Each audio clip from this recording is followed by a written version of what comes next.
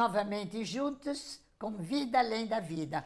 Hoje, falando com Eduardo Guimarães, um estudioso das epístolas de Paulo e as regras de sua conduta. Nada melhor que você, Eduardo, que tem estudado tanto sobre Paulo, né?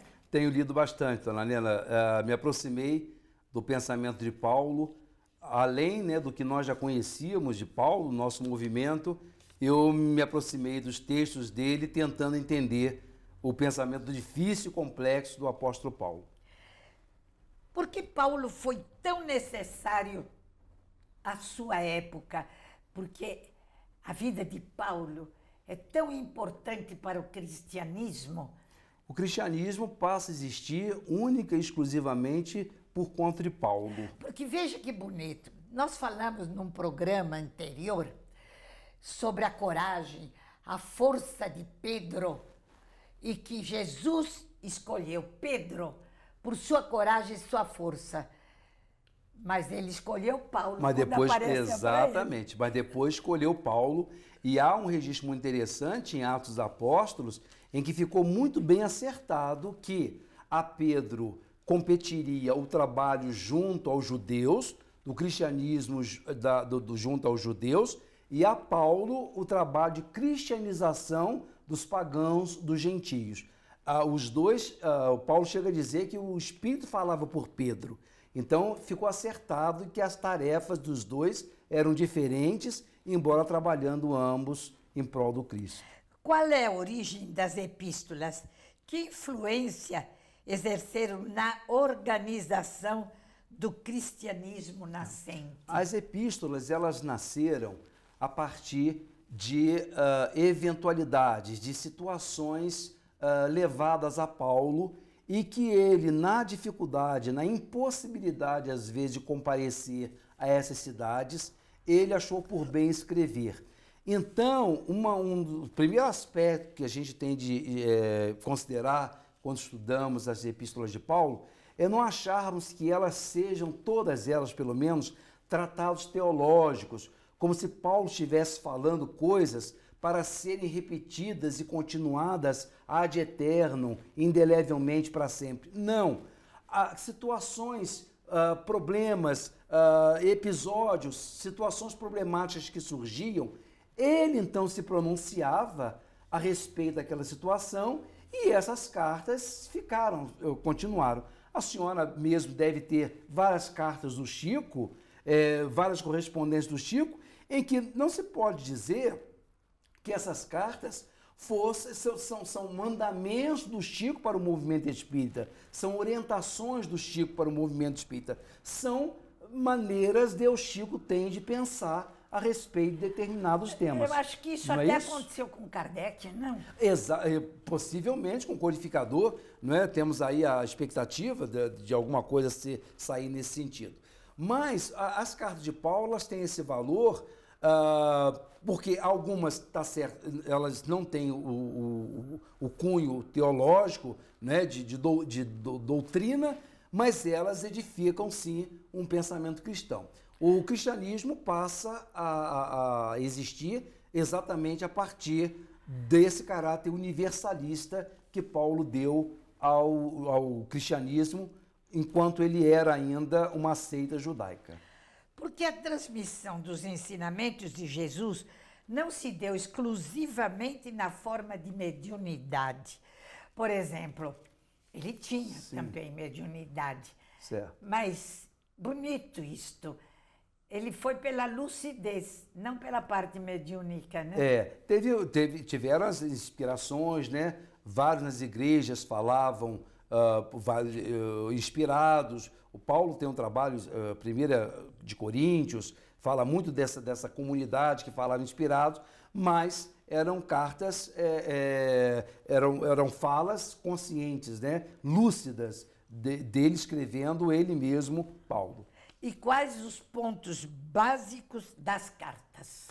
Bom, aí é, seria, em verdade, as cartas elas diversificam de, de, de, de assunto. Né?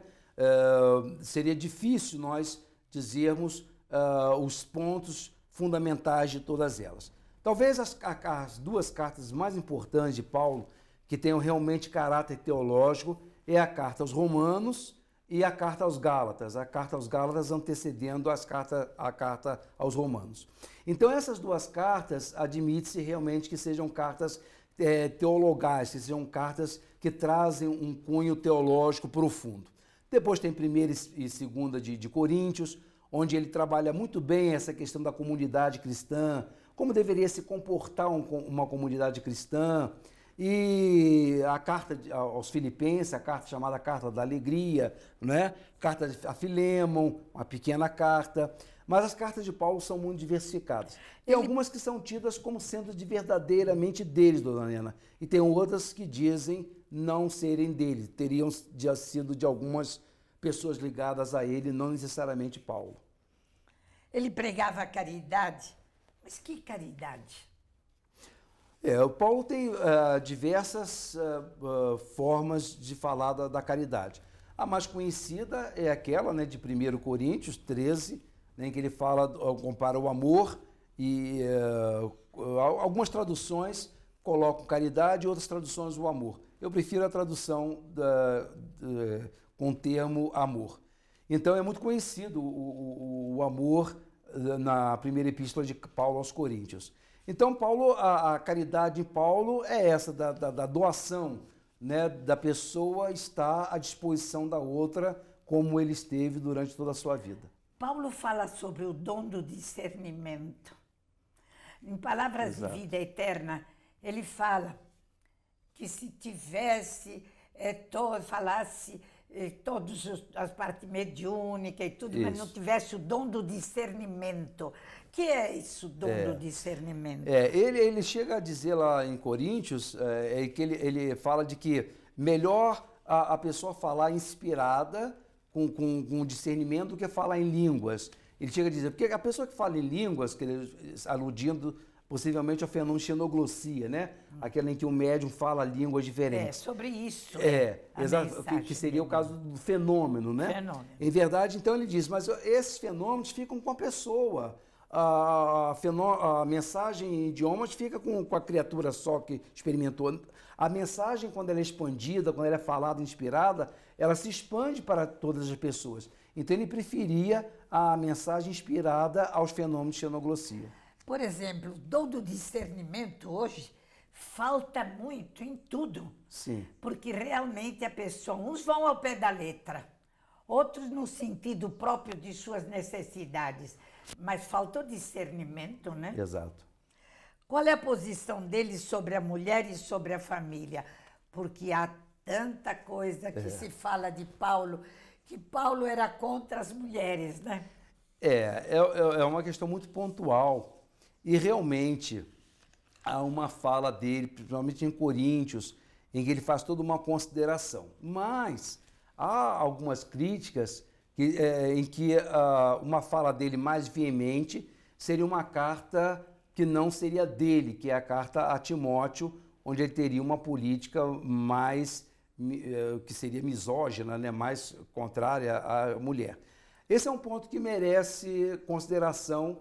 Uh, agora nós temos de entender de novo que Paulo é, não estava escrevendo uma teologia, ele estava se posicionando com relação a uma época. Se lembrarmos, por exemplo, da recomendação que ele dá lá à comunidade de, de Corinto, quando ele se refere a que as mulheres não cortassem os cabelos, né? Uh, que mantivessem os cabelos longos, é, alguns uh, estudiosos dizem de que havia uma, uma tendência de que Corinto era uma, mulher, era, uma, era uma cidade cosmopolita em que as mulheres é, tinham muitas facilidades, é, como se fosse uma era uma região portuária e, e em que havia muita prostituição.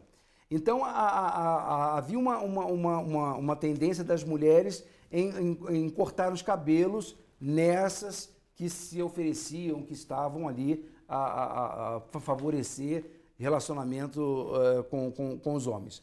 E ele, então, quando escrevem a ele, relatando esse episódio, eles, bom, então que, que não cortem, que as, as, as, as, as mulheres nossas, elas não cortam, não cortam os cabelos é, para efeito de diferenciação.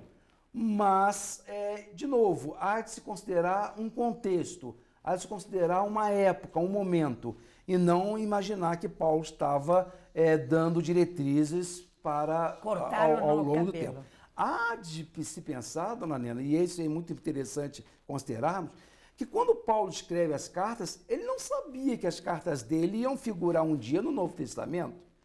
Ele não sabia que as cartas dele seriam depois, 100 anos mais ou menos depois, seriam escolhidas para fazerem parte de um livro que seria lido por milhões de pessoas em mais de 1.500 Que agora, por exemplo, idiomas. não tem propósito da mulher ficar de cabelo comprido. Exatamente. Quer dizer, então é muito interessante considerar de que nós temos hoje uma perspectiva dos, dos textos que foram mantidos hoje. Mas Paulo não tinha essa ideia, assim como Jesus Claro. não tinha ideia de que aqueles pensamentos iam ficar. E nem Paulo que isso faria parte do Novo Testamento.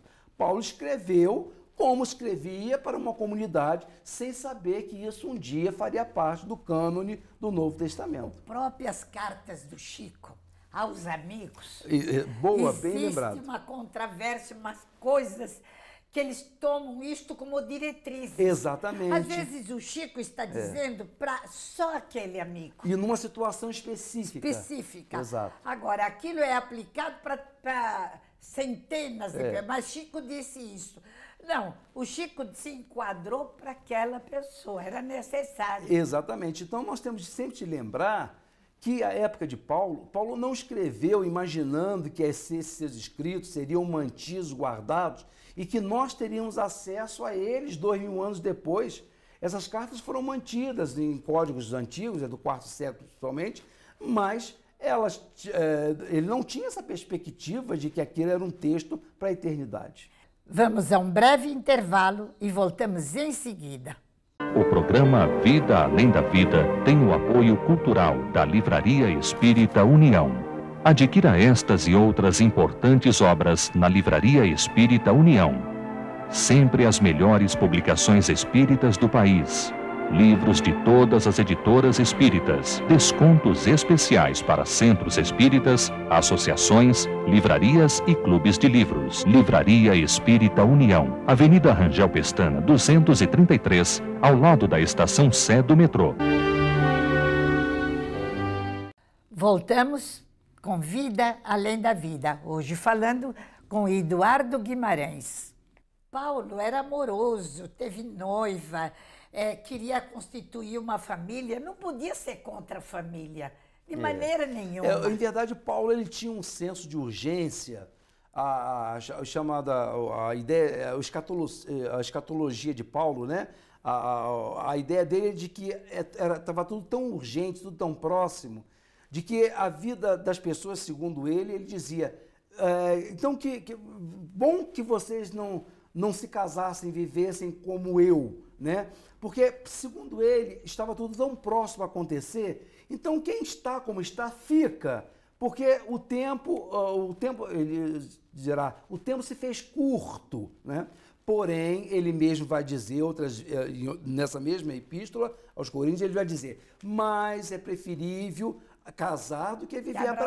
abrasado. É melhor que a pessoa se constitua do, do que. é, Exatamente. desregrado. Exatamente. Então, nós ve- vemos, ele colocou cada um em suas necessidades. Exato. Não especificamente o que servia para um, servia para todos. Isso, E muita gente estuda Paulo superficialmente. de verdade. É, Nosso movimento então, pessoalmente. É, é assim, superficialmente. Paulo disse isto sobre caridade. Então, a caridade tem que ser feita assim, como disse Paulo. Claro, mas é de uma maneira um povo, de outra maneira outros povos. Exato. né? Paulo pregou a unidade em torno de Jesus.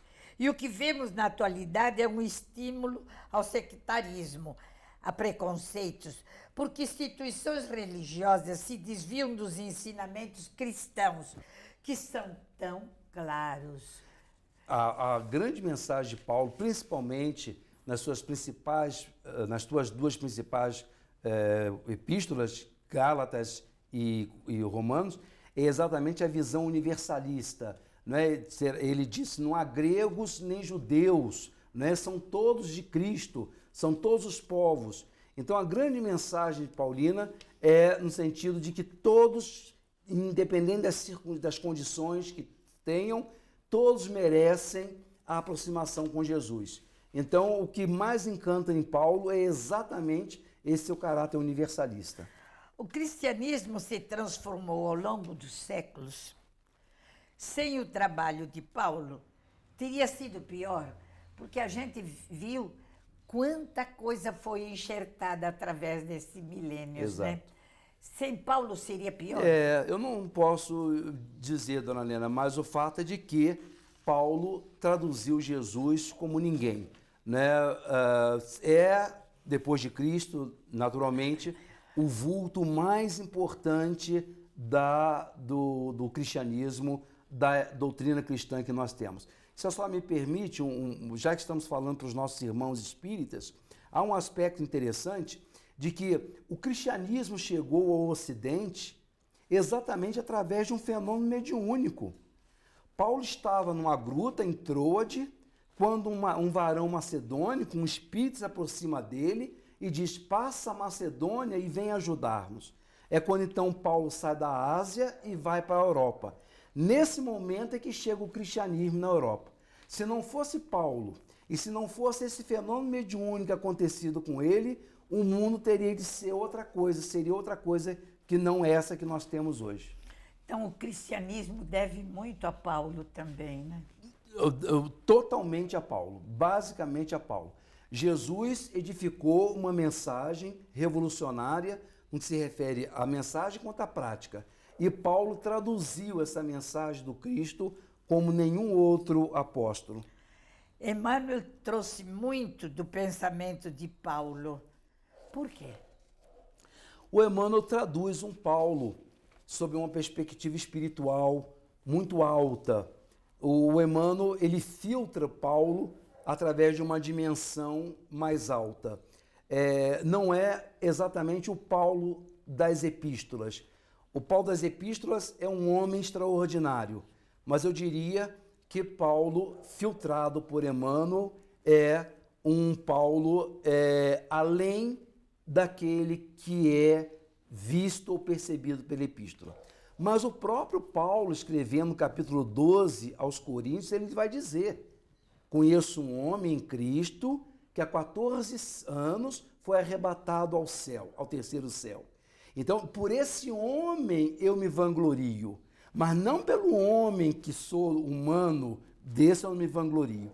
Então, o próprio Paulo tinha essa percepção de que existia nele uma dimensão espiritual mais alta, que talvez, a meu ver, o Emmanuel tenha captado, e um Paulo, que é o Paulo dos seus textos, das suas mensagens, lembrando de que ninguém pode ser conhecido através das suas epístolas, né, de suas cartas. A criatura ela é muito maior do que a carta.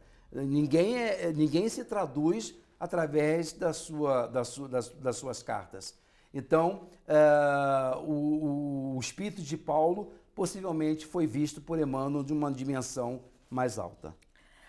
Podemos afirmar que ele, Emmanuel, apresenta o resgate e a compreensão desse pensamento, porque nós vemos quanto Emmanuel também fez questão de confirmar na obra de Chico o pensamento de Paulo, né? É verdade, é. Alguma, algumas propostas do Paulo nós vemos, conseguimos ver na obra de Emmanuel, mas eu, a meu ver, o que o Emmanuel faz do, do Paulo é uma, é uma obra edificante que nos leva às lágrimas todas as vezes em que a gente lê, e que, mas apresenta um Paulo de uma dimensão sobre-humana, de uma dimensão do infinito. E, uh, e alguns temas de Paulo, das epístolas de Paulo, aí esses alguns deles não são tratados na obra de Emmanuel. O que você fala a respeito do livro romance sobre Paulo Estevão, por exemplo? Então, o livro Paulo Estevão, para mim, na minha hoje, na minha concepção, é um livro em que o Emmanuel viu o Paulo da dimensão dele, de uma dimensão além, de uma dimensão espiritual. É desse homem incorruptível, é desse homem que Paulo fala, projetado no mundo espiritual, é, que era muito maior do que o Paulo humano, o Paulo da terra. Então, se nós quisermos ver talvez o Paulo na sua intimidade, na sua alma, nós temos o livro Paulo Estevão como sendo uma chave nesse sentido reveladora. Mas no que se refere à teologia de Paulo, o pensamento de Paulo sobre diversos aspectos da vida, aí precisamos de outras obras também. Deve ser lido exatamente porque as pessoas leem o livro Paulo Estevam e se detêm só naquilo. Estudar Paulo é muito importante. Nós vemos, por exemplo, eh, religiões evangélicas que estudam Paulo por uma visão completamente diferente da é, nossa. É, dentro de uma visão reformista, é, luterana, não é? Luterana. E, e aí também é uma visão, a nosso ver, distorcida. Tem surgido escritores, pensadores, gente de grande conhecimento, de grande erudição bíblica, que tem feito trabalhos extraordinários na área do pensamento de Paulo que, que são obras muito interessantes que merecem serem conhecidas por nós também. É, então, o Paulo, tanto o apresentado pelo catolicismo, quanto Paulo revelado depois com a reforma luterana, também é um, um Paulo, é, vamos dizer, adaptado a uma realidade de uma época, a época de Lutero, a, a própria perspectiva de Lutero, né? na medida em que ele tinha aquele, aquele afã de vencer a, a, o, seu, o, seu, o seu lado inferior, ele adota a fé como sendo o único caminho para se chegar a esse, a esse estado de descoberta interior. Mas é um, é um capítulo interessante, é um, é um material é, extraordinário que nós temos procurado um certo aprofundamento. Eu perguntei sobre o romance, depois exatamente a outra visão, e a visão é, de Lutero, porque para chegarmos à visão espírita, porque nós vemos que há diferença é, de estudar a personalidade de Paulo e o que ele falou completamente diferente. É. Verdade. Exatamente. É, a, a partir de, interpretação, né? A, a partir de, de, um determinado contexto, se entendeu Paulo de um jeito dentro de uma ótica totalmente reformista. E uh, o Paulo é um. É, de novo, Paulo não escreveu para a Igreja Católica, Paulo não escreveu para a Igreja Protestante, Paulo escreveu para o ser humano e muitos dos conceitos dele nós podemos adotar para a vida de hoje. Os tempos se aproximam. Tudo indica que serão dificuldades renovadoras. Não é o problema, o tempo se aproxima, 2019 está aí, nada disso. Não. São renovadoras. Haverá espaço para a humanidade seguir Paulo? É esperar muito? Não, acredito que não. A humanidade vai amadurecendo, ela vai crescer e ela vai poder entender a mensagem libertadora de Paulo. Ele, eu diria, senhora, que é um nome é, extremamente contemporâneo, principalmente numa época em que há respeito pelas diferenças. Paulo é, é universalista. Paulo vai ter um, uma consideração extraordinária pelos diferentes. Então, é, Paulo se faz necessário principalmente nos dias de hoje, em que há tanta intolerância religiosa, há Sexual. tanta divisão, exatamente, uh, falta de respeito pelo, pelo outro, preconceitos. E, preconceitos. E Paulo vai ser realmente um, um bálsamo né? Nessa, nessa época de, de resistência, de xenofobia, né? de, de tanto preconceito que nós vivemos. Eu não disse que nós teríamos uma excelente pessoa no programa Vida Leve da Vida para falar sobre Paulo. Paulo deve ser estudado, compreendido. Nada melhor que o Eduardo para isto. Nós teremos novamente muito assunto sobre Paulo, porque ele está tra traçando planos muito bonitos. Até a próxima semana, se Deus quiser, Eduardo. Obrigado, Ana Helena.